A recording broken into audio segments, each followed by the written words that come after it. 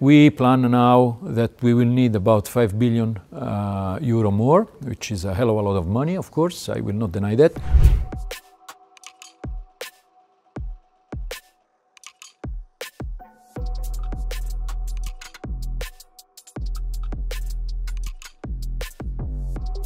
The new baseline will, uh, say, prioritize uh, research. So research means trying to get to deuterium tritium operation as quickly as possible. And when we speak about that and we compare the new baseline with, versus the old one, the old one foresaw DT operation in 2035 and it will move four years later in 2039. This is our new target date.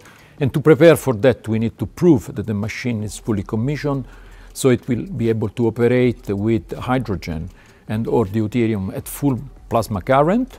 And that was originally thought to, to happen and targeted in 2033, and now it will be targeted in 2036. So we are speaking about, say, a four-year delay overall, comparing, uh, say, the key project milestones. We plan now that we will need about 5 billion uh, euro more, which is a hell of a lot of money, of course, I will not deny that.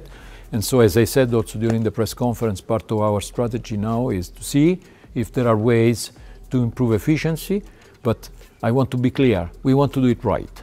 We don't want, in order to uh, say, uh, cut costs, end up in having problems of quality. This is not acceptable. Problems of quality then end up causing extra costs, not lesser costs, because we end up having to repair things, to delay things. I would like to say, uh, remind that in the original plan, the full plasma current was targeted only in 2033, although first plasma was in 2025. So you, you can measure that these four further stages of assembly and constructions were taking time, as you see. The new baseline uh, will uh, target the start of research operation in 2034 uh, with a more complete machine, uh, but it will be immediately followed by uh, substantive research. And in fact, full magnetic energy now will be uh, three years um, delayed compared with the previous baseline. From will move from 2033, as above said, to 2036. So, I mean, there is no denying here that there is a delay.